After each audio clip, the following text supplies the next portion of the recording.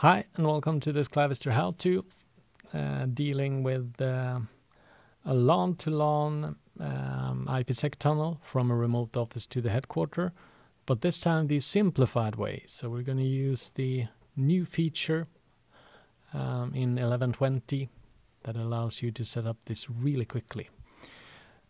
So let's uh, do this. Uh, network VPN uh, interfaces and VPN and IPsec. Add well ah here it is the new LAN to LAN VPN simplified. Um, we'll call it uh, VPN HQ remote endpoint. That's the WAN IP or public IP of the remote office or the headquarter I mean local network here is LANnet on my side. The local network on the remote side is the HQ LANnet. We'll add a static route and use a pre-shared key. Ah, before we click, maybe we should read this. IKE version 2 is going to be used. AES encryption 128 bits, SHA-256, Diffie-Hellman group 14, and perfect forward secrecy. Ah, that's real secure, so that this feels nice. Uh, we need a rule too, so we'll add a rule policy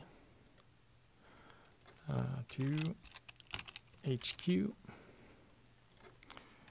So we saw if traffic's coming from long long net on my from my side and is routed into the IPsec interface. And the destination IP address is part of HQ LANnet. All services. No address translation. We will allow it.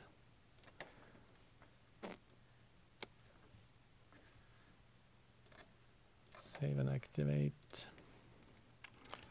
Let's pull up the CLI.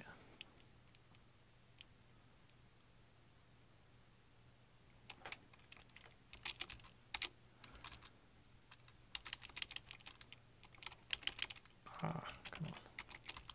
Let's do ping simulation from from LANnet on the remote office to uh, an IP address on the headquarter.